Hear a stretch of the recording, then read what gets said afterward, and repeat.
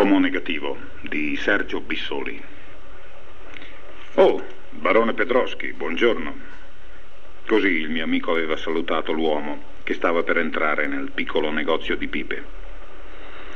Era di luglio, faceva un caldo insopportabile e le tende alla finestra erano tutte abbassate.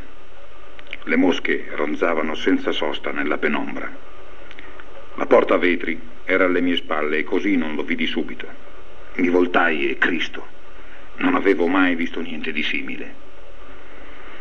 Per non lasciar trasparire la mia sorpresa, toccavo le pipe che avevo da provare. Ma quell'uomo aveva anche il nome di appropriato. Era piccolo, grasso, zoppo e calvo. Quando si avvicinò al banco, notai che portava l'apparecchio acustico dei sordi oltre che a due spesse lenti negli occhiali. Mai visto un individuo simile per diavolo. Mentre parlava col mio amico tabaccaio, che a quanto pare lo conosceva bene, sentii che era anche balbuziente. Salutai tutti alla svelta per non ridergli in faccia. La volta successiva che andai a trovare il mio amico, gli chiesi chi fosse quel tizio. Ma come? Non conosci il signor barone Pedroschi? fece lui.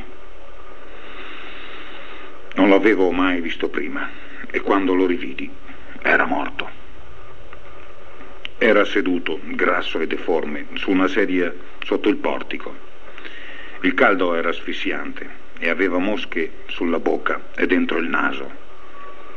Lo avevano sistemato là provvisoriamente perché era deceduto mentre giocava a carte all'osteria. Quando arrivarono i familiari, gli sfilarono l'orologio e l'anello.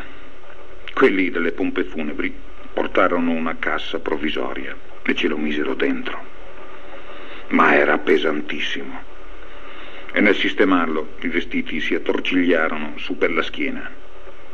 Da un barbiere furono presi dei giornali sportivi per metterglieli sotto la testa come cuscino, perché assumesse una posizione più decorosa. In cimitero poi. Ero presente quando ce lo portarono. La cassa nuova di zecca, color marrone chiaro, luccicava sotto il sole. Se non che l'impresa di sistemarlo nell'oculo non fu a fare da poco. I becchini incolpavano il falegname, questi scaricava la responsabilità ai muratori. La cassa, per pochi centimetri, non entrava nell'oculo si provò di traverso, in diagonale. La tomba di famiglia era stretta, l'apertura mal sistemata. Un operaio andò a prendere la sega. Segarono sotto gli occhi preoccupati dei parenti i quattro angoli della cassa, badando a non intaccare la salma. Fu spinto dentro a forza di sbuffate e si tirò sul muretto con la malta indurita.